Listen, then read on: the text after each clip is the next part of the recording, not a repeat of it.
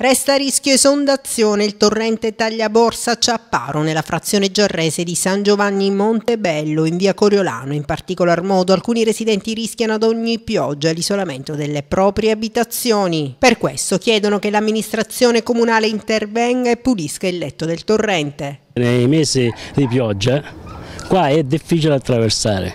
Non si può addirittura attraversare perché, perché perché se, se uno si trova dal lato fuori, fuori, casa deve aspettare che cala il livello dell'acqua. Chiedo eh, perlomeno il passaggio per poter andare a casa perché l'anno scorso sono rimasto fuori e qua ci sono delle, dei vicini di casa che possono testimoniare questa, questa situazione. Perciò io eh, chiedo eh, di, di, intervenire nel modo più eh, veloce perché qua nel periodo invernale è difficile andare a casa. Ho, eh, delle bambine, ho eh, giustamente ragazzi che vanno, vanno a scuola come io devo andare a lavorare e anche giusto devo avere la possibilità di attraversare.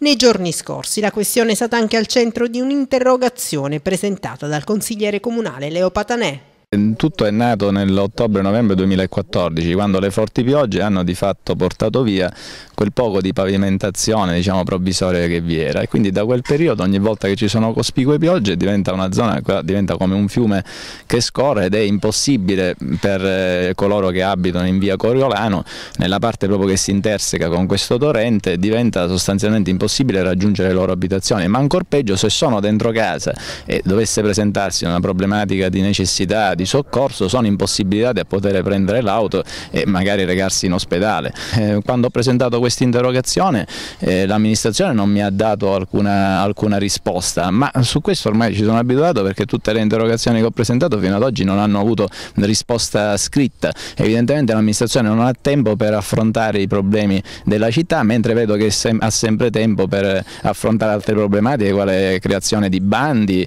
eh, eccetera. Su questo ritengo che l'amministrazione essere molto più attenta perché le, le problematiche che io sottopongo, come quelle dell'illuminazione, della messa in sicurezza dei parchi o questa della via Coriolano, sono problemi che riguardano l'interesse della collettività.